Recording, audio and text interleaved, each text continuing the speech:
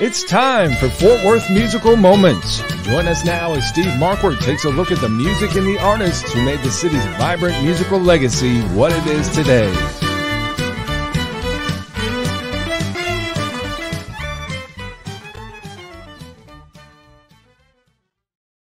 Well, hello there, and welcome to another episode of Fort Worth Musical Moments. I'm your host, Brent Adams, along with co host Steve Markwardt. And Steve, it's been a busy week. How are you? Busy week. Yeah, I just got back from Tennessee, uh, Clarksville, Tennessee, to be exact. Uh, uh, day before yesterday, had a great trip there. You joined us for for uh, some of that, and uh, making you know, I, am just that that studio is just. I just love being in that studio with a caliber of musicians and with the greatest producer in the world, Kurt Ryle, and um, so excited about the music we're putting out. And, and when we uh, actually, you brought us a new artist that we're excited about as well. I love it. Yes, Evie May. You're going to be hearing a lot about her. Uh, uh, just a, a, sophomore in high school and a musical phenom here with just a, a, mature, great voice. And we'll be talking more about her, and we'll share a clip of uh, some of your handiwork here from this week uh, toward the end of the show here. So I hope. Well, the cool thing about the cool, the cool thing about Evie May is she's kind of a, a, a teenage female version of Ted Nugent. Indeed she's an outdoors woman. She loves to get out and shoot and, and uh, hunt and ride those four wheelers. And so uh, we, I think that's going to be a big part of her brand. You know, is uh, but uh, we're excited about that. Not afraid to mix it up out there, and she says she would rather deal with the boys than the girls because she doesn't like the drama, and we like we we like that. I, I get that a thousand percent. So uh, excited to work with her and Steve's boots are back on the ground in Fort Worth, Texas, here, and we're ready for another show today. And our special guest is the proprietor of the Fort Worth Memories Museum, and he has various Fort Worth uh, themed live streams, doing a great job with those. And we wanted to welcome into the program Larry O'Neal. Larry, how you been? I am great, guys. How are y'all? We're doing great. Uh, we got some feedback here. Hang yeah, on. I'm turning it down. Okay. All right. Good. Yep. We only Uh, one Larry O'Neal's enough, Larry. So yeah, yeah, I'll, I'll, I'll second that motion. so, how is things in Louisville, Kentucky? I know how Steve is here in Fort Worth. It's rainy, but it's busy here. We've been uh, doing the Mid America Trucking Show this week here after spending time in, in Clarksville, Tennessee. Uh, the Mid America Trucking Show is one of the biggest trucking shows in the country. They have another big one in uh, August in Dallas, I believe. So those are two of the biggest ones. And next to the ag industry, you know, uh, the, the trucking industry is a, another great industry. It's the industry that keeps America moving here and keeps agriculture moving. And, and so we like to support the truckers and and, and kind of tell the stories where agriculture intersects with the trucking industry. So, been working on a lot, a lot of content there, uh, meeting a lot of good folks. I'll be back out there immediately after I get done uh, here today. So, we'll be sharing more of that content on social media. So, thank you to everybody who's been uh, liking and sharing that content, meeting a lot of great people, and, and and learning some fascinating insights. You know, and talking to the trucking crowd. One of the big things that they're dealing with is just uh, uh, labor problems there, you know, and not just uh, uh, people to to haul because they, they tell me there there's enough drivers. They just they're having trouble retaining them. But when you talk to people who build trailers and and some of the products for trucking, and are just having a really hard time finding em- employees and and you kind of look at the big picture of how all that fits together long term. There there's some issues there in that industry. So yeah, we try to tell some of those stories and bring some of that to light, and hopefully affect some change down the line. Yeah. Uh, you know, I was looking at uh, some photos in one of my libraries last night. In 1980, there was a uh, there was some kind of strike where they drove all these tractors to D.C. Do y'all remember yes, that? Yes. Uh, yep. And the picture is in front of Mrs. Baird's Bakery, and you know who's sitting on that lead tractor? Willie Nelson. Wow. Okay. So they all drove these tractors to D.C. I don't know was it the farmers striking or? Well yeah it was a, you know the big farm crisis where you had kind of uh, the inflation in the 80s and you had a lot of people losing farms. And uh, you know it, it, was a very tumultuous time. And i know a lot of people i know my friend david widmar with agricultural economic insights did a whole podcast series on uh, uh surviving the 80s escaping the 80s kind of looking at what's going on today and how, how it, some of it parallels what was right. going on in 1980 and, and that was absolutely the deal they were trying to get the attention of congress uh, to to try to get some help for for farmers because you know you had these at this time second, third, maybe fourth generation farms that uh, uh, were going under, and uh, you know not a lot was being done to to help it, and there was a lot of owners regulations being put on farms. And it was, is basically just driving a lot of those legacy farms out of business. Yes, I remember it distinctly. So, well, you know, part of the mission that we have here is to uh, kind of help people understand that past, understand some of those variables that went into that, and uh, making sure that we don't end up there again. And uh, you know, it's exactly disconcerting because if you if you look at some of those factors, uh, you're starting to see history repeat itself a little bit. Yes, exactly. Well, you'll remember that's what drove that uh, wildly successful Farm Aid concert. Uh, yes, right. Thing.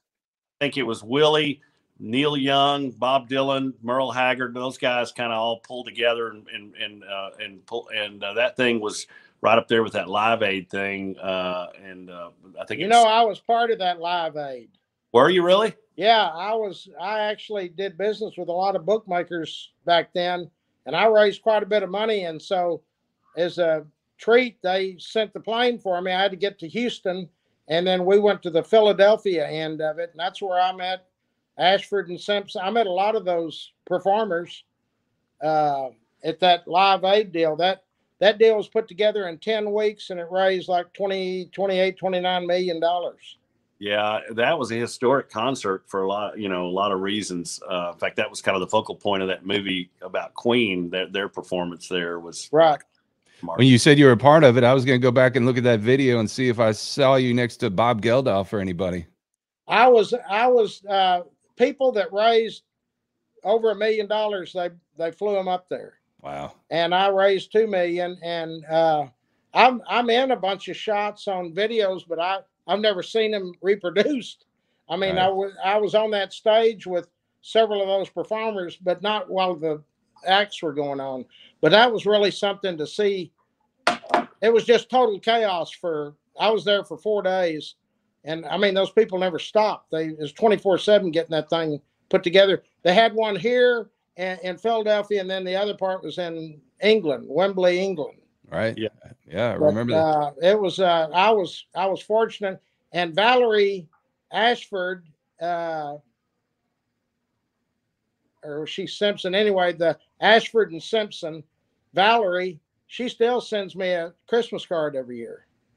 Huh. Her husband is dead, but uh, when they came out with that song uh, "Solid," I sent him a sent him a note and said, "God, I love that song," and she sent me a, a DVD of it, and it was signed by them.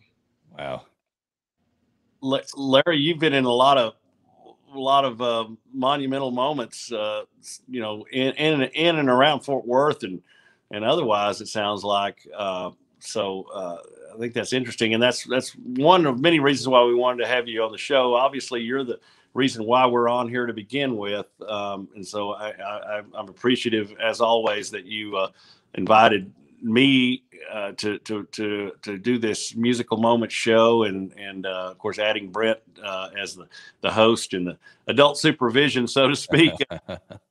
well, this show, this show, I said it from the start. It's gonna it's gonna be huge just takes a little bit of work. People always ask me how you get so many people. You just you have to be dedicated, do the same thing every day, and go out there. And once they see you, you're on. Right. All about creating fresh content and yes. And, and you know giving people a reason to want to come back to you time and time again we and that's what y'all do y'all provide a lot of history that we so sorely need because we don't know where the music comes from. We don't know what Bob Wills or Milton Brown or any of the early day uh, artists had to go through. Uh, I don't know if I've told you, Steve, that I was reading a uh, an old book that was printed back in the 30s or the 40s, and it was talking about when Milton and Sam Cunningham with uh, what was the name of the place? uh, out on White Settlement Road. Springs. Yeah, Crystal Springs. They got crossways. Of course, the way they got paid back then was they split the door, and Milton and the Brownies wanted more more of the door money, and Sam said, out of here. So they went. I finally found out where the Brownie Tavern was. It was on Highway 199 across the street from Casino Beach. And they didn't have electricity, they had a power generator. Can you imagine that? And they just had a string of lights, and people would be dancing, and then the thing had run out of fuel and they'd have to stop and they just made do so in other words it was it was pretty tough and and in this article they interviewed milton and he said somebody told me they were giving free out in the parking lot was giving free tickets to crystal springs. He went out there and looked and it was sam cunningham. And but anyway they got back together. Everybody knows the story. They got back together. They were better together than they were apart. And uh, so it's good that y'all provide current entertainment that we all love and like, and then also tell us the history. And it's good that we've got Nashville and Kentucky and different parts of the country or the or the world. Y'all will have some people on sometime that's from another continent. Yeah, yeah, we've got there's there's no shortage of potential guests that we we have teed up eventually, and uh, um, you know Fort Worth is just Fort Worth it's got such a soul uh, as a city. Um, when you compare it to some other cities, you know, Fort Worth is becoming a bit, you know, it is a big city. It's a, what, what is it right now? In 12th, 12th, 12th largest, 12th city. largest city in the U.S. Yeah. And yet there's still small, small town elements about Fort Worth which make it and we haven't lost the soul of the city and the heritage of the city and that's been being preserved by people like you larry which you know we're all grateful for and and the stockyards area has been well preserved and now it's just booming. It's crazy down there but there's so many story you know we talk a lot about country music and western swing and and, and of course bob wills and milton brown what a great story that is. And uh, know, and we're documenting that well through shows like this and, and ultimately through my brother's documentary film, which um, uh, is just, you know, an amazing uh, deal. But there's so many other stories to tell uh, about, you know, the, the blues. You and I were talking about that, the, the blues roots of Fort Worth, the early rock and roll roots, uh, just, you know, there's so many interesting stories to tell that, that, uh, that a lot of people probably don't know. You know, there was a small venue here, Panther Hall, that brought so many of these later in life huge artists. Willie Nelson was there. Uh, that was before Ponytail Willie. Yeah. And, uh, you know, uh, just all of them, they all played at Panther Hall. And it was a very small venue. I would say it was smaller than uh, National Hall, wouldn't you, Steve? Or do you? I, I, you know, I, I went once, I think, for a concert there. That that was in the '70s. I went to see a friend of mine's. Uh, uh, friend of mine's mother was dating the bass player for Red Steagall. Uh, and so we went to see Red Steagall, and he was performing on the same bill with I think the Gatlins, the Larry Gatlin, and them were playing. So I remember going to a show there, but I I, I think it it wasn't any larger than National Hall. Yeah, no, it was small. It was but, a small venue, and they brought uh, they brought them all in there. I think the problem, one of the problems with that that hall, uh, one of the contributing factors of it closing down was just the area that was in kind of got a little dicey. I think. Yeah, yeah, and the acoustics were not very good. They yeah. they they needed a sound system just like National Hall does. But but that Panther Hall is you know so many great people came through there. You know I, I you know and that uh, that's that's worthy of, of its own book, I think, just to talk about you know all the people that came through National Hall. And there's so many stories like that. You were talking, Larry. Uh, you and I were on the phone earlier talking about the old Bluebird Lounge. Uh, and Brent, pardon us, we're not trying to cut you out here. Oh so. no, I, I'm listening. You're fascinated. But the old Bluebird Lounge, you know, which is where all these these legendary blues people came through, and it was just a little house, like a frame house. Exactly I remember they had, uh, you know, I'd go in there, and first of all, you could park your car across the street, and, and if you wanted to, you know, you could park your car for free, but if you wanted your car to be one piece when you got out, yeah, you had to pay. You might want want to pay, otherwise you're going to be missing some wheels, hubcaps, or whatever. Uh, and then they were smoking barbecue the night the the one of the times I went there, and I noticed I was like, wonder what they're smoking that with hickory uh, or uh, uh, uh, mesquite, and I and then I saw a guy tear a piece of plywood off and throw it in the fire. I thought, oh, it's plywood. yeah, you know, one of the few, t- well, not one of the few. I, I was in there a lot. Robert Ealy was a good friend of mine. Uh, but I took a, a gal in there. That was before I was married, and I said, "There's no telling who'll be here." I hadn't looked at any playbills, and it's Stevie Ray Vaughan. Yeah.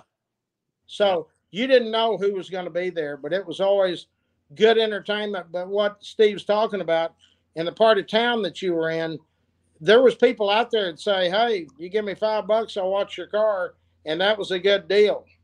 Yeah. And because it was just not in the best part of town, and it's been redone, and it says it's open, but I can't get any information on it. I'm going to research it. I think the joke was, "Give me five bucks and I'll watch your car," or "Don't give me five bucks and I'll watch your car drive away." yeah, yeah, exactly. Uh, but yeah, so many legendary. I remember going in there, and, and, Larry, you remember the ceiling in that place was like six foot six or something. Yeah. It was, and and and I remember people in there dancing, and some of the taller gentlemen in there, they they put their hand on the ceiling and yeah. Kind of, uh, and, and, it was just it was just one of those clubs, you know, it was just dark and it was smoky and but man, the music that came out of there, you know, I think BB King played there when he'd come through. He would, he would come in there late night and do jam with those guys. It was one of those little juke joint things, you know. Yeah, uh, Sam and Dave played there. I've got their playbill.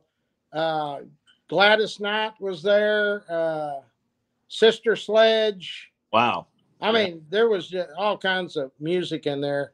And to the best of my knowledge, I think Robert Ealy owned it. Yeah, I think you're right. Is Robert Ealy still alive? Oh no, no, no, no, no. I was at his funeral, uh, but uh, no, he was not. Uh, he's not alive, but he was a good guy. Wes Williams is a good friend, or was a good friend with him. Robert, I detailed his old. He had no uh, uh, Undertaker's limousine, and I used to detail that thing. And I, I I talked to him one time and he said, I'm kind of short on money. I said, You've been short on money every time I've done your car. I never charged you not a penny. But he was just a, such a, uh, a great guy and he never had any money. So I guess he didn't charge enough or whatever. He didn't manage his money right. But uh, yeah. no, Robert was a good guy. Yeah. So, Larry, I, am fascinated by uh, just your grip on the history of Fort Worth. Where did all that come from? And uh, if you could just tell us a bit about uh, the creation of the Fort Worth Memories Museum. How did all that come about? It started about uh, about 40 years ago. I got interested in. Uh, well, I've always been interested in history, and uh, I met a, a gentleman that was a the attorney for two different families. One of them was Amon Carter. The other one was the Lipschitz family. And the Lipschitz owned Zales Jewelers and West Texas Produce. And so when they would have their meetings and would call Mr. Herman over, he would, the patriarch of the family, Mrs. Lipschitz, would have the meeting with the family. And then Mr. Lipschitz would sit outside. My mother's house was next door to it up in Park Hill.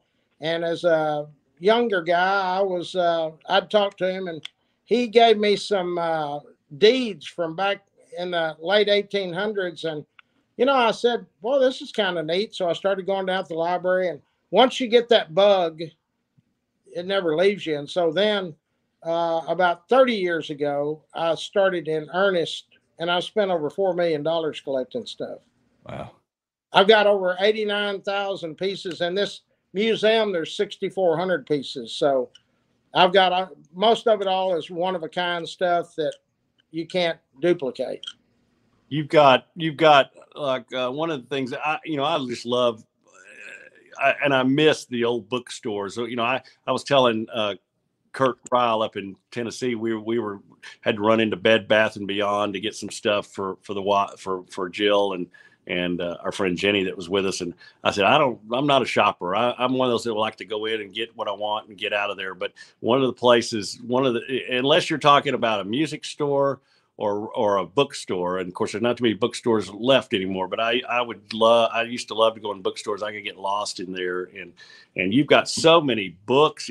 One of the things that's intriguing to me, especially being a Fort Worth native, is all the old high school annuals that you've got in there. I've got over fifteen hundred. And, and so here's a new deal that I've started.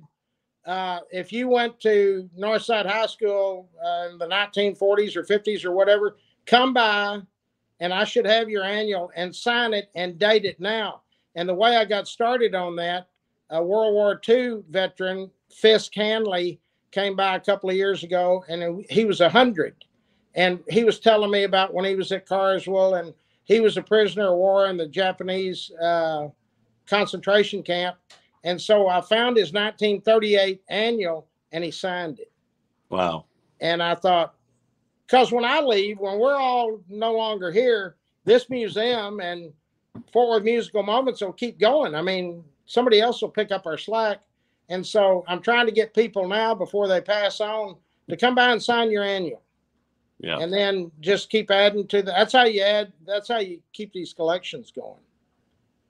Yeah. It runs the gamut. You got annuals. I know I, I, I saw you got some sports memorabilia there. Oh, I've got I've got I've got something of ever everything there's no facet of Fort Worth or Tarrant County that I don't have uh, the real deal.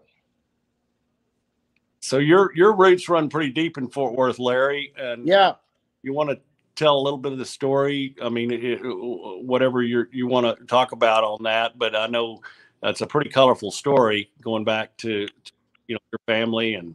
Well, my aunt was the first female serial killer in Texas. Okay. Her name was Ada Scarborough Bilbrey. You can look her up. Uh, on my dad's side, it's all been gangster life since my great grandfather. So yeah, we got a colorful history in Fort Worth. Uh, when I do when I do public speaking, one of the deals I do is uh, I own a company called Gangsters in Cowtown, and uh, it draws 100, 150 people when I go to Old South or one of these restaurants and invariably, there'll be 50 or 60 ex policemen there that they'll come up after it's over and say, I used to I used to handle when they needed your dad when they called in the usual suspects, I'd go get Blackie. That's what they call my dad. And so I've learned a lot from them, just from them knowing him. I've got this book I was showing Brent earlier. You know this book, Larry. Yes. Her Ann Arnold is going to give me all of her research material when she passes. She told me one time, uh, I would have put your dad in there, but he was too gruesome. He'd be eating pizza and cutting up bodies. Wow. So yeah, it was. Uh, Larry, we're awfully glad you kind of broke that that chain and uh, and decided to go to a more uh, civilized life. well, you know, uh, you know, uh, Steve, in 1984, I was still in it. Then I got shot by one of my own guys six times in the back. Uh, I spent a good portion of 84 and 85 in the hospital learning how to rewalk. And, you know, I blacked that part of my life out. And uh, I guess it was late 90s. I was heading home and, I, and it flashed. I saw who shot me. And I knew he had a TV repair, VCR repair shop in uh, River Oaks, and I called home and told my wife, I said, I, I might not be coming home. And I had my hand on my gun. And when I my hand opened that door to his business, something just kind of went over me. And he had a customer and he got rid of the customer and he said, I guess you figured it out. And I said, Yeah. And he was kind of scared. And I said, I just want to shake your hand. And he said, Shake my hand. And I said, Yeah. I said, You saved my life because the way I was going, I wouldn't have lived to see the 90s. Wow. So, you know, everything happens for a reason, they say. So, ever since then, this year on my bicycle drive will be the 37th year I've given away bikes to people here, kids here in Fort Worth. You know, uh, there's, I can, I can see uh, in my life as well, and I, I see how, uh, and, and I'll just be bold him and say that that God, if you let him, he'll take every liability and turn it into an asset. You know? Oh yeah, no, that's, you're right. That's exactly what you're happened. Right. that was a turning point in your life, and, and what an incredible story. And yeah, I know how much you do for the community. Um, and you know, just just having that that museum is not uh, there's no profit motive there. It's a labor of love. know. See that, so Yeah. So, you know, we're all here for a purpose, and we all, for the people that try to, I, I really have an open heart for teachers and people that try to teach our youth uh, the correct way. And that's why I'm always upset about the curriculum of local schools. They don't have local history anymore. And I think it's imperative that every child should know the history of you know, Louisville, Kentucky, Right. uh, Dallas, Texas, uh, whatever. Uh, and that's why I've complained to our mayors over the years. That's why I think our kids, we raise them up, send them to school, little school, middle school, high school. They go off to college and they just don't come back. Yeah.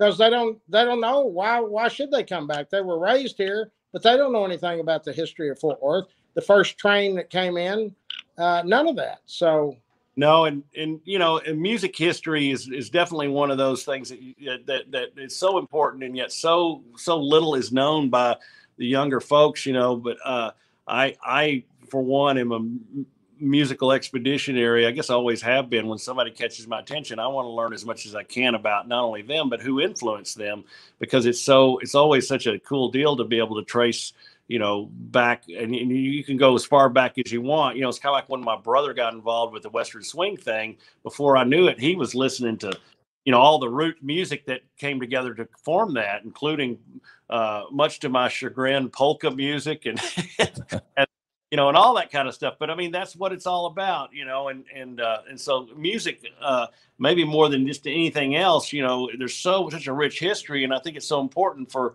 for for folks to to understand that without certain people the music that they might like today wouldn't exist you know and uh, sad that most kids uh, you know under the age of 30 probably can't even name all four beatles you know You know, and uh, take Elvis Presley. He crossed the tracks in Tupelo, and gospel music was his thing to start with, from what I know.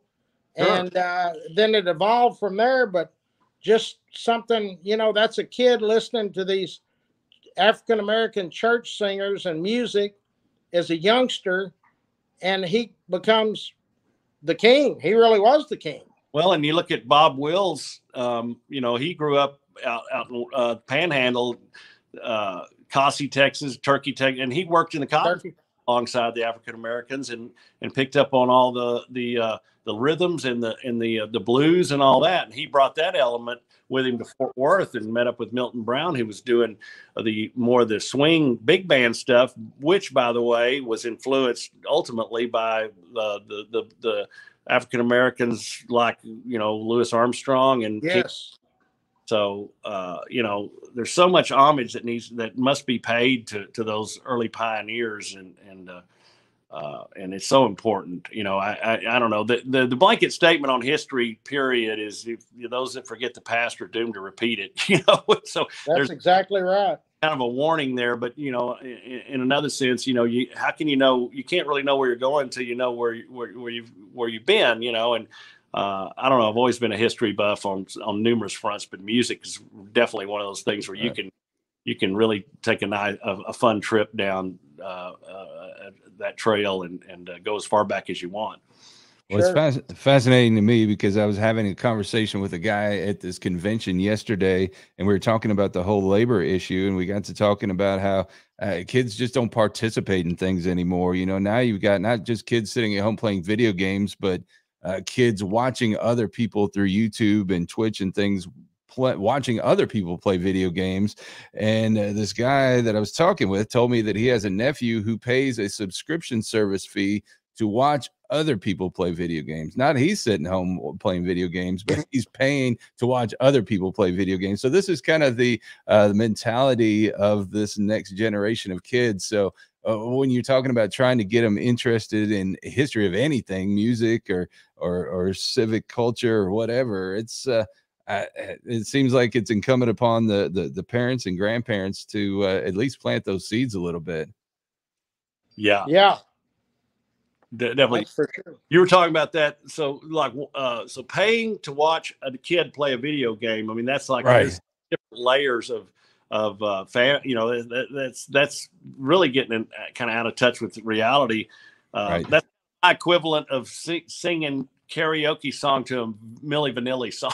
right right well it's uh you know it's the whole meta universe it's uh, it, it's an interesting thing first of all i'm disappointed i didn't think of that hustle because somebody's getting rich off of that but uh yet it shows us where we are as a society here and you're right it is getting more and more detached from reality and uh you know people have no sense of uh from where they came here and that's look- a that's a problem Brent, look at that that game, and I don't know if it's as popular now, but I mean, for a while it was wildly popular. That Guitar Hero game, right and pe- kids would spend hours and hours and hours learning how to play those video game guitars and master that thing. And I'm thinking, my God, if they spent half the time learning real music, they would right be further ahead because that nets them absolutely zero on picking up a real guitar.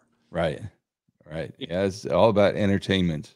And, and and I'll tell you the reason, the whole reason I got, I mean, I've always loved music, but the but what got me going as a musician and a songwriter was one day, you know, Jill kind of shook me out of my my fog and said, Steve, as much time as you spend on that iPad, you know, doing those painting games or whatever you're doing on that, she goes, why don't you, you're such a musically inclined person. Why don't you learn how to play an instrument like a guitar? And I said, you know what, you're right.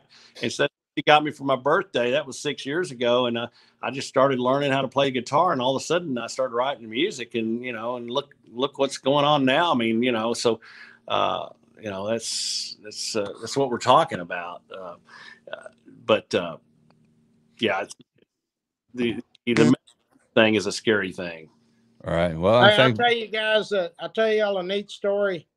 My uh, wife loves Julio Iglesias, so every time he came to Bass Hall, I'd always get in the orchestra pit. And uh, uh, but anyway, he came out one time, and uh, uh, I, I don't think it was on his live show. He talked about him and Willie doing the duets, but no, it was backstage. I, I got us backstage, and I asked him how he got involved in it uh, he was in a real bad car wreck when he was pretty young and has a prosthetic foot. His dad fathered a child at age 90 and he was a doctor. He swam in the ocean every day. And so Julio told us that he was laid up in the hospital for a number of months and he, you know, he's a he's a womanizer and one of these nurses came in one morning and said, "Here, here's a guitar. Play with this and leave us alone." Yeah. And he said that's how it got started. Yeah. Yeah.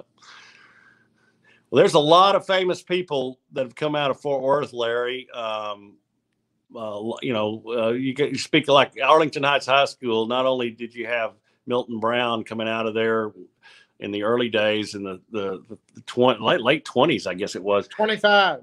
When he graduated. And you've got that that annual that has his picture in there. I know. Uh, It he- took him five years to get out of the 11th grade. There was only 11 grades until 1944. Then they added the 12th grade.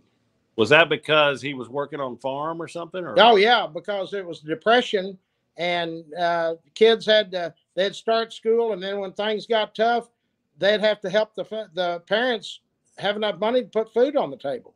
Only the real wealthy kids went on to college, right? Oh yeah, yeah, yeah. Yeah.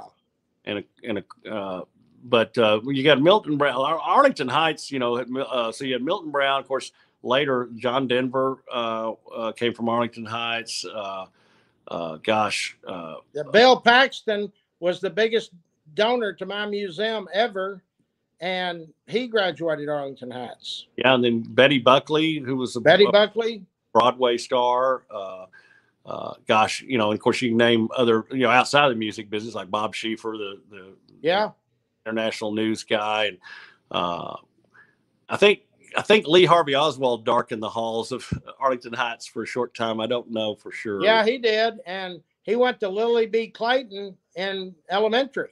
Yeah, yeah.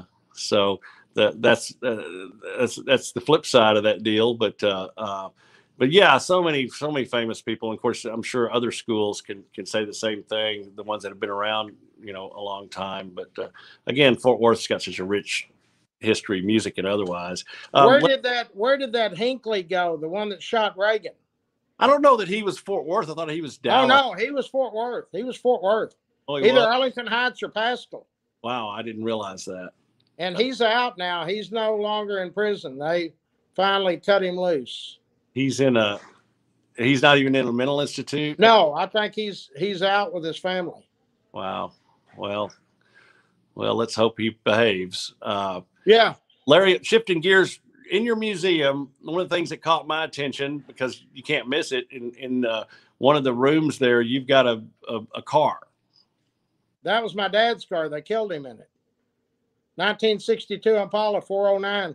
They only made 142 of them. Super sport. So, can you elaborate on they killed him in it? What is that? Well, I mean, we don't know. I think Daddy had a contract on one of our local hoodlums that I'm not going to mention the name, uh, and he didn't. He shot him, but it just paralyzed the guy. The guy died in 1963, and uh, of a stroke. But he was in a wheel, wheelchair. But it was his people. I researched it. It took me 18 months just to get the car back from the county. They didn't want to give it up but finally i've got it. Yeah it's in it's in the museum. All i replaced was the uh, windshield and the interior because there was blood all over everywhere. He was in the car.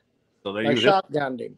And was he on the road or? Uh, he was out where dfw airport is now. No i mean i, I don't think he was driving. I think he was just i don't know what he was doing. They didn't you know that was kind of the boondocks back then and so they didn't they didn't find him immediately it took a week or two before they actually found him oh, okay. Wow, what a story. Yeah. So, um, yeah, my deal. It's it's been fun, and my family was involved in a lot of it, and uh, we learned, just like you say, we learned from our history. And people say, "God, you're not embarrassed about your dad." I'm not. I loved him. I'm proud of him. Uh, that's just what he did. Lon Evans, the sheriff here, when I was growing up, Lon kind of took me under his wing, and he said, "Hey, Butch, that's just what your dad did." Yeah. you know he said that's just the way it was so i've always took it at face value and just moved on That Jacksboro Highway corridor, you know, one one ninety nine. I mean, that thing at one time was just chock full of one nightclub after another, dance dance hall after another, wasn't it? oh yeah. The uh i was at age 10 uh i was working the door at the rocket club the one you're showing right there when i was 10 years old. So the the gangsters would take their kids and we'd stay outside. And so the bar manager or whatever would throw the old cardboard uh, cartons out there that the beer was in and back then that was way before no don't mess with texas. There was big old bar ditches and us kids they'd give us 25 cents if we'd take the beer cartons and put them in the bar ditches and light them on fire. And so i i started thinking hey if i wear a pair of slacks i can stand up there at that door and tell them it's a dollar dollar cover charge because it wasn't a cover charge and maybe somebody will pay me. And they did. Hmm. And one guy said there's no cover charge here. And he said you know who that kid's dad is? And he said oh yeah here here's the dollar kid. Get out of here. So yeah that i mean there was uh, the skyliner club which daddy was part of. Ike and tina turner played there. Candy bar was a stripper there. Uh, there was all up and down a three and a half mile stretch. There was 27 clubs uh, half dozen eating joints avalon motel another one and no churches Now, uh, no churches, yeah. Uh, uh, now the the casino beach was there really a casino there at one time? Well, their Casino Beach was uh it wasn't a casino. It didn't they they had card games, but it wasn't uh like a, a full blown casino. We had casinos here. Uh Boston Smith had one out there off Interstate 20 where it's up on the hill. Then top of the hill casino was in Arlington where Benny Benny Benny Binion ended up owning it. Uh that's who my dad worked for. Uh and Fred Browning started it, but there was a lot of gambling that went on here, and the the gambling on the strip on the strip I call it Thunder Road, whatever you want to call it, 199, was controlled by Carlos Marcellos out of New Orleans and Benny Binion. They split the gambling here. Wow. So it was a, it was a you know there was a there was a guy named Elmer Sharp, big guy, and he he actually lived to be sixty something. He's buried at Bluebonnet Hills out in Richland Hills. Uh, he actually had a pet bear, and uh, the cops never jacked with him, but he was just a huge guy. His club was called the Private Club, and it was just an extension of his house, and uh, he wouldn't even open until the Four Deuces and the Skyliner and all of them had closed at two or three or whatever time they decided to close. And then he would open. And the story goes that you you'd come in, you had to put a 20 on the bar and you couldn't ask for any change, but you could drink all night. But back in those days, and I think it's still on the uh, books, people say, well, how did they have all of those places? Well, in 1936 and 1935, really, the state was getting ready for their 100 year centennial. And Ma Ferguson was the governor, and she had promised Amon the 100 year party, which Amon said, I don't understand that. Fort Worth wasn't here in 1836, and neither was Dallas. But Dallas ended up getting it because Amon pissed off Ma Ferguson. So Amon got on the phone, and President Roosevelt was his big buddy and he said, I want enough money to start. I need to build a convention. I mean, a Coliseum, which is Will Rogers, and a open air uh, hall, which was Casa Manana. And he paid Billy Rose a thousand dollars a day for 35 days to oversee the building. And so then Billy Texas, Rose top Billy Rose was the top Broadway producer at that yes. Time.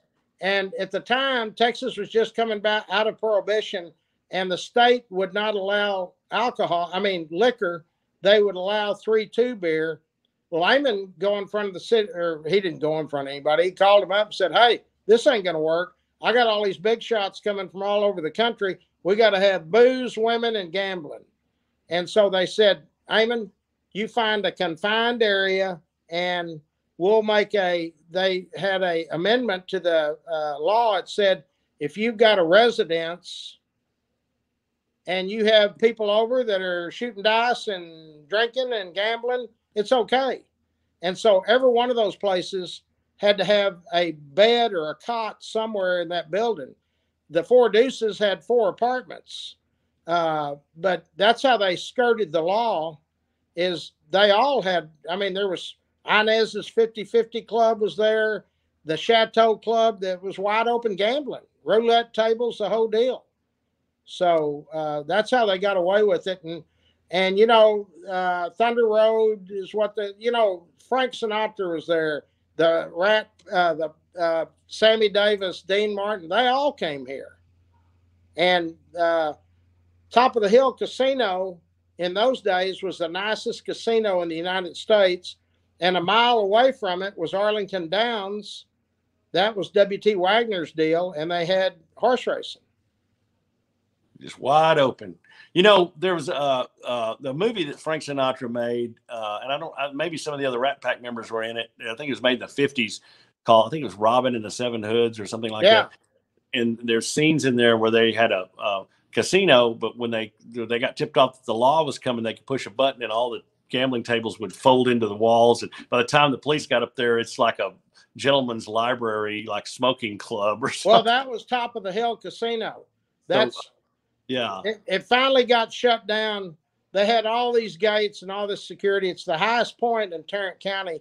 And uh, the Texas Ranger, Lone Wolf Gonzaullas, actually finally penetrated it and they shut it down. But uh, I've got pictures of Clark, uh, uh, Howard Howard Hughes lived out there for two or three months. They wow. used to Jack Dempsey the last few fights Jack Dempsey fought, he lived here in Fort Worth. Amon Carter, they signed the contracts in Amon's office. Amon, uh, Jack Dempsey trained out there. There's a lot of boxers trained out there. And then, like I say, a mile away was Arlington Downs, and that was the big horse racing. Uh, Bonnie and Clyde spent some time here in Fort Worth, didn't they? Yep. They the story goes that Bonnie and Clyde Bonnie, I mean Clyde, and uh, Henry Methvin and Pretty Boy Floyd robbed Top of the Hill Casino on New Year's Eve of 33 and got $500,000. And so Fred Browning called Benny and said, Benny, uh, and I'm when I say Benny, Benny Binion, the ended up being the Horseshoe Casino in Vegas. He said, Benny, those cutthroats, Bonnie and or the bar- the Barrow Gang robbed us five hundred thousand. He said, "You want me to call the sheriff?" And he was probably talking about Bill Decker in Dallas or the sheriff here. Uh, and Benny said, "No, don't call anybody." And Benny put the word on the street, and he said, "You tell Bonnie and Clyde they'll wish the only people looking for them was the Texas Rangers and the local cops. If I don't have the money at the Southland Hotel parking garage Sunday morning, Benny lived at the Southland Hotel in Dallas." And the way the story goes, and my dad even told me this, Clyde didn't remember exactly how much they had robbed, and so they robbed a bank or robbed somebody, card game or something, to make sure they had enough money to bring back. what a Benny Binion, Benny was the most ruthless gangster ever lived. He had seven shooters. My dad was one of them, and Benny killed as many as the shooters did, probably. Carlos Marcello was was no uh, Boy Scout either. A lot of people. Oh no. A lot of people, uh, depending on which conspiracy you want to lean towards, a lot of people uh, attribute uh, Kennedy's assassination largely to Marcello. Well, he was in it. It's it's ironic. The day of the shooting, they pronounced Kennedy dead at one o'clock. An hour earlier, same day in New Orleans, a federal court gave Carlos Marcellos. He didn't get deport. He didn't get deported. It was a de- deportation hearing, Yeah. and oh yeah, and he because Bobby Kennedy was all over Marcello. Yeah, yeah. Well, uh, and this is Fort Worth musical moments, but it's so tempting to get into all that other stuff. And of course, you know, around in and around all of the things that were going on, the the underworld stuff, the uh, uh, the above table stuff. There was always great music coming out of Fort Worth. Um, you know, and, and, and every genre. Uh, I know a lot of, I'm sure, very, very, you know, the biggest country stars of, of our time probably came through and played those places along Jacksboro Highway in those days. And, uh, you know, I, I remember my dad told me when he'd come in out of the oil field, that's where they would go and they could see people like Faron Young and those guys, you know, playing there. So, You know, there was uh I was looking at a a 1950 something uh, little get acquainted with Fort Worth. Fats Domino played out on Lancaster for two weeks at one of the clubs out there, the Party Line. yeah. Fats Domino was pretty, you know, he was pretty big name musician back in the day. Well, and then you, I think you said mentioned that Elvis came through. Elvis played Panther Hall and played. Uh, he played Northside Coliseum, 1956. Northside Coliseum. Elvis and the, the- probably the two biggest stars of their day, Elvis, and then much earlier Enrico Caruso, the great opera singer. Oh yeah, yeah. He played. He played Northside Coliseum also. Yeah, uh, uh, th- that's the that's the the uh, location of the world's first indoor rodeo, right? So Yes, it doesn't matter what Kansas City claims. It's us. yeah, yeah, it's like uh, uh, Grand Ole Opry claims to be the original um, uh, barn dance type show, but it, it originated at WBAP right here in Fort Worth. No, That's exactly right. Fort Worth's a, a place of a lot of firsts. Brett, do we have any questions? Any of our viewers have any questions coming in? Ah, you know, I haven't seen any questions yet. Just a lot of people uh, in awe of some of the stories that Larry has has been, been telling here today. Well, I, you know, the uh, when I when Larry asked me to come out and talk to him about doing this musical moment show, about I, I went out there and I, I told my wife, I said, I'm going to just go grab uh, uh, uh, 30 minutes or so with Larry, and I'll be. And, and I think I got home at five. That was at noon. I think I got home at five five o'clock because we we and and he and I, of course, knew a lot of the same people. But but yeah, the stories that Larry can tell are are incredible. And uh, you know, gosh, you know, every every every one is worthy of its own book or a movie, maybe even a movie. I mean, my gosh, the, and that's what I think that's what separates Fort Worth. I don't know, Dallas just doesn't seem to have that. You know, we've always had this rivalry, friendly rivalry with, but Fort Worth just has so much more of a rich history and a traceable history and soul. You know, and and and uh, you know, but it's, it's and so we've always been proud of that and tried to. And I think that's the great thing about Fort Worth is it's we're mindful as a city to preserve that. Yes. Guys, I got to go. I got some people standing here.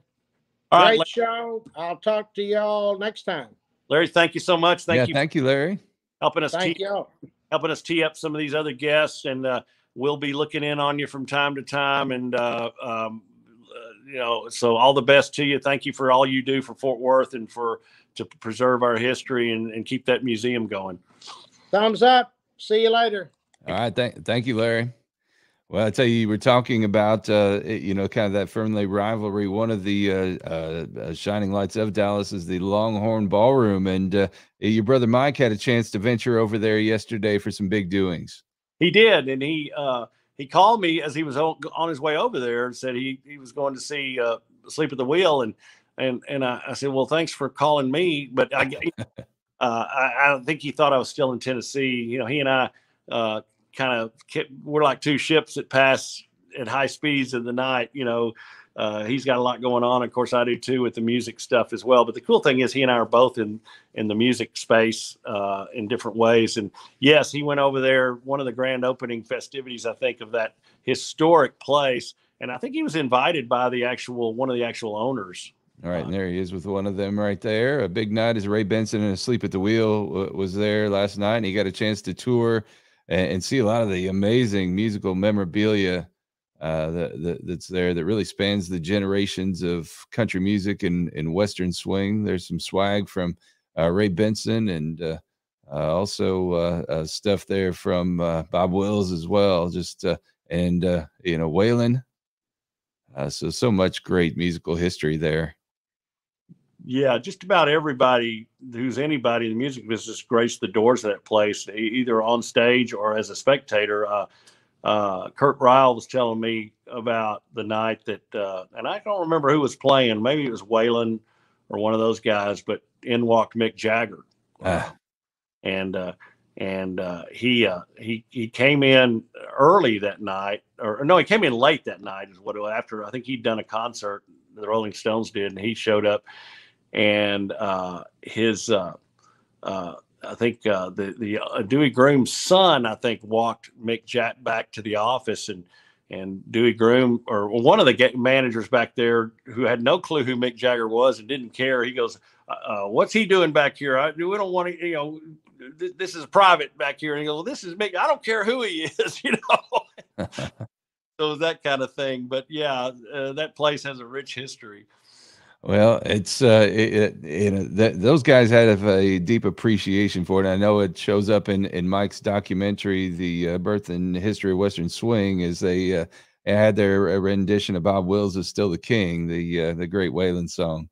Yeah, that Mick Mick Mick uh, Mick and the Stones did, and Ron Wood uh, uh, made an attempt to do a, a, uh Western swing steel guitar, you know, and so you can't fault him for trying.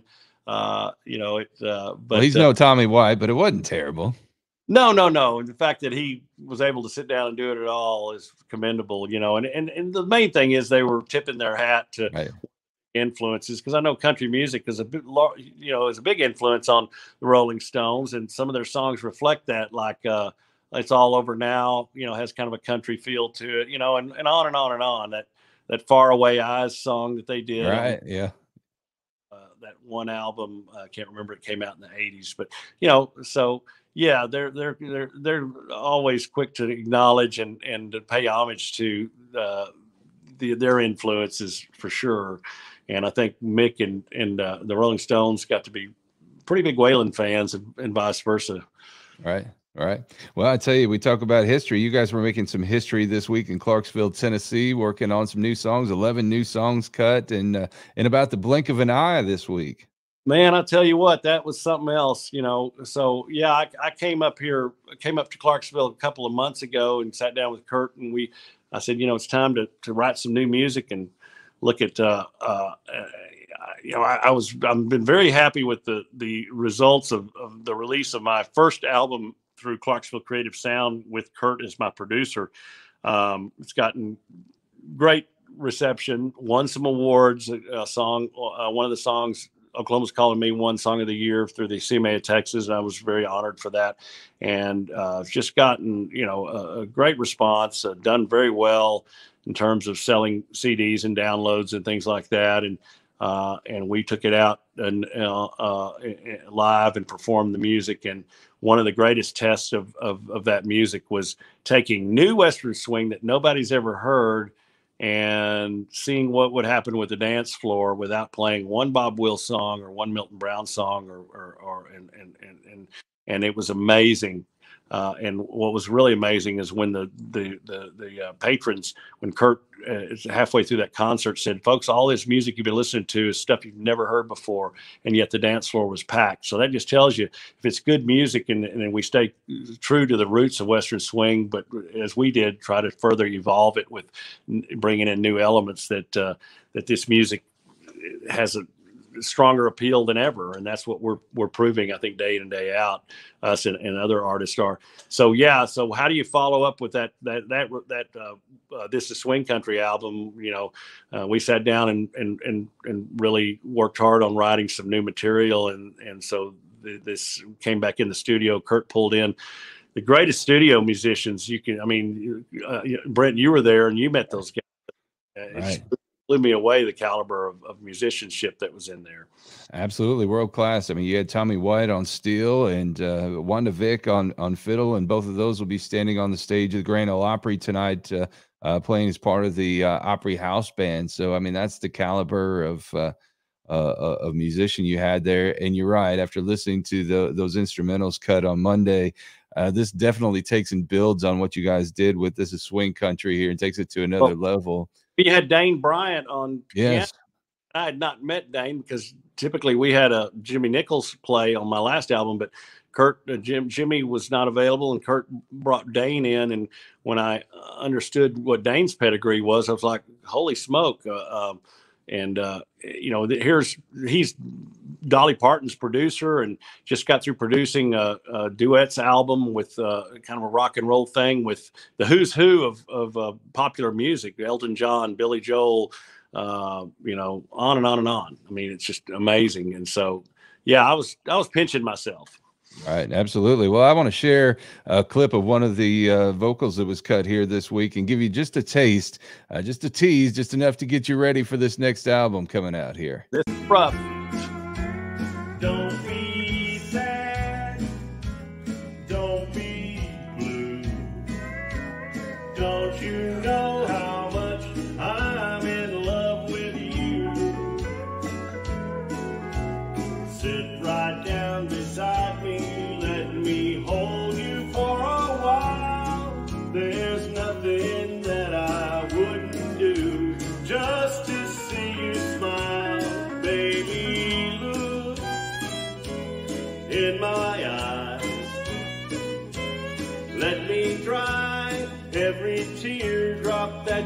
That you cried. Just remember this there's power in each kiss, and love can turn the darkness into light. Uh, just beautiful stuff there. Yeah, I'm I'm thrilled at how this music's turning out. You know, uh, when Kurt and I sat and wrote these songs. And Kurt's amazing because as we were writing these songs and, and getting them the lyrics finished, he'd pick up his guitar and just start strumming the melody. You know, uh, he's he's just so talented that way. And so we we sat down and, and just did recordings with Kurt playing the acoustic guitar. But you to watch them to, to hear them and watch them come to life with all that great musicianship is just a whole nother deal. And uh, and so I, I, it was such a, a, a a great thing to be able to to then come back and do vocals over all that that that instrumental the, the great instrumental uh, that that we had with all these musicians. And we're not done yet. I mean kurt's bringing in some some horns to uh, on certain things and we'll be you know uh, refining those vocals and you know and uh, uh, have some some harmonies in certain areas. But when it's done it'll be i think another landmark album. Uh, we've got i think 10 original songs and two or two or three covers. I can't remember. Anyway, uh, I'm excited about it. They all sound phenomenal. And you saw Kurt's uh, uh, image there in the doorway, his reflection there. And uh, that reminds me, we want to make sure that we plug Road Stories with Kurt Ryle this Monday at 7 p.m. Central. That's going to be on the Kurt Ryle Road Stories Facebook page and a few other outlets. So make sure you're watching that. Uh, he's got no shortage of stories from his time on the roads with some of the greats in uh, country music history. Speaking of on the road and speaking of uh, being out there playing, you know, Kurt has been in this business a long time, and you we had talked about uh, the uh, Longhorn Ballroom earlier. You know, Kurt was the leader house of that house band from '79 to '86, and so he was there, and he he worked with just about everybody in country music and popular music. I mean, heck, he said he remembered the night the, he remembered the night that I think the Sex Pistols came through there, didn't back them up. Uh, they they did their own deal, but you know that. But he was there uh, making history, and uh, I'm proud to say that two members of my A-list band, Kurt Ryle and Shane McCauley, the drummer, uh, are both uh, were both a part of that band, along with our good friend Junior Knight, uh, and uh, so. so we're we are working on actually making an appearance out there, hopefully, and I think it'll be great homecoming for Kurt and, and Shane for sure. Well, stay tuned for that because I'm sure if it happens here and when it happens, you'll you'll know about it here on this Fort Worth Musical Moments Facebook group. So get plugged into that if you're not already. Also, the Clarksville Creative Sound Facebook group, the Rural Strong Media Facebook page, and uh, stay with us here because we're building a lot of content that, that's going to go on these platforms. And we'll be back here again next Friday at 10 a.m. Central with another Fort Worth Musical Moments and uh, we, we've got uh, quite a few big guests that are going to be coming in the next few weeks to, to entertain you. So hope you come back for that. And if you missed any of this, we're going to archive it immediately. So uh, make sure you go back and, and watch it in its entirety and, and, and dig into some of those Larry O'Neal stories because, uh, boy, he's got some good ones, doesn't he? He does. He does. You, yeah, you could, you could go, we, he could fill a year's worth of shows and, and just scratch the surface. But, uh, uh, interesting, interesting gentleman he is. And make sure you go follow his Fort Worth memories. He's on, he's on all the time on uh, on Facebook doing live streams. So uh, uh, you never know what you'll find out from Larry. He is a font of information. So go check that out. And I wanted to invite you all to check out Rural Strong Radio, which is our 24 7 streaming radio station found at ruralstrongmedia.com or on the Live 365 streaming radio app. And it plays the best in traditional country music, Western swing and bluegrass, a little Southern rock and inspirational. We got everything on there uh, from Asleep at the Wheel to Steve Markwardt.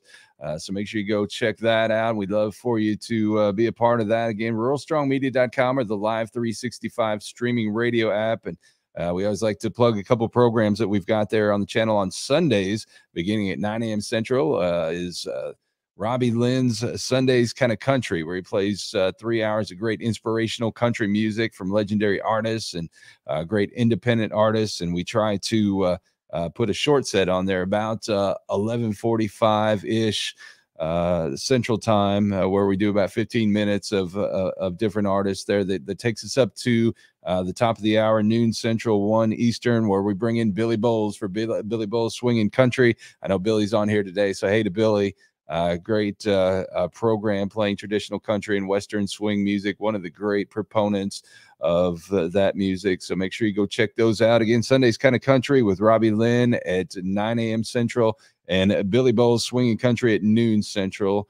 And we'd love for you to, to come and, and, and join us each day here. It's portable. Get that Live 365 app and listen. We're going to be bringing a lot of the Clarksville Creative Sound artists onto there and we've got a lot of great ag programming. We're getting ready to announce some uh, uh, programming in the trucking industry. So uh, if you're plugged into to great traditional country and western swing and, and just rural lifestyle, uh, that's the place to be. So. Uh, Billy Bowles and our good friend Billy Bowles, and I always appreciate Billy taking time to tune in because I know he's he's working feverishly to get his show ready every week. Uh, and and his show, um, I, I, have to say, his show is so well thought out. You know, right. Things just don't happen automatically. I mean, Billy puts so much thought and has a theme for every show, and and carefully places the music pieces in there that fit in with that theme. Very entertaining. So I, I urge everybody to catch it. Um, uh, you know, as you rebroadcast it, he comes out originally out of KSSL uh, out in the uh, Lubbock area, Slaton, Sundown. And and I had a long talk with our good friend Kathy Jewell yesterday, who owns that station. And what a what a jewel she is! I mean, nice. just a beautiful lady and quite a great artist in her own right. And she's uh, uh, coming on board as a, a, Clarksville Creative Sound artist as well. So I want to just give a shout out to Kathy. Excellent. Yes, uh, Kathy and Suzanne Abbey, everybody there at KSSL. Uh, great folks. So uh, uh, you can catch the first stream of that, ksslfm.com, 10 a.m. Central on Saturdays. And I know there's a Facebook group that's very active with that, uh, kind of listening along. And a lot of the artists that uh, you hear on on that show uh, get on there, so you can kind of connect with some of them too. So uh, make sure you go check out the Billy Bowles Swinging Country group on Facebook as well. Well, I tell you what, I got a trucking show to get to. I'm going to bring my friend here. We got uh, we got some trucking to get done here. We're going to be uh, eastbound down here to the uh, Kentucky Exposition Center in a few minutes. So be watching the uh, uh, Rural Strong Media Facebook page today. We're going to be doing some check-ins with some folks from the trucking industry and and just having some fun. We'll be back here again next Friday, 10 a.m. Central for uh, Fort Worth Musical Moments. And Steve, hope you have a great weekend and uh, get a chance to catch up on some rest here. Thanks, Brent. Put the hammer down, as they say in the trucking business, and but watch out for Smokey. All right, 10 4, good buddy. Well, I tell you what, until next time, it's uh, Brent Adams here with uh, uh, Steve Markwardt. We'll be back again next week. So keep riding tall in the saddle. Make it a great week, everybody. You've been watching Fort Worth Musical Moments, a production of Rural Strong Media and Clarksville Creative Sound, copyright 2023. Please join the Fort Worth Musical Moments Facebook group and join us each Friday at 10 a.m. Central as we introduce you to another key figure in Fort Worth's musical heritage.